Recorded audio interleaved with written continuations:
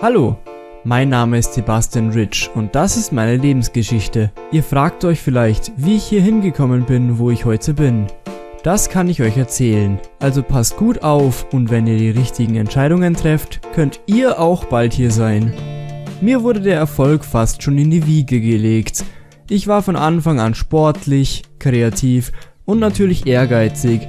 Ich hatte nur ein Ziel, herrlich reich zu werden, denn klug war ich ja ohnehin. Als ich gerade mit dem Studium fertig wurde, entschloss ich mich in die Stadt zu ziehen.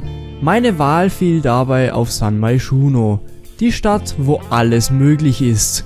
So heißt es doch.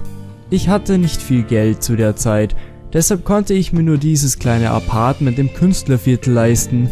Dort traf ich sofort auf meine neuen Nachbarn Salim, Bako und Anaya. Ich war sehr aufgeregt und wollte sofort mit allen Freundschaften schließen. Das kann noch mal wichtig werden, habe ich mir gedacht. Ich fragte sie noch am gleichen Tag, wie man am besten zu Geld kommen würde.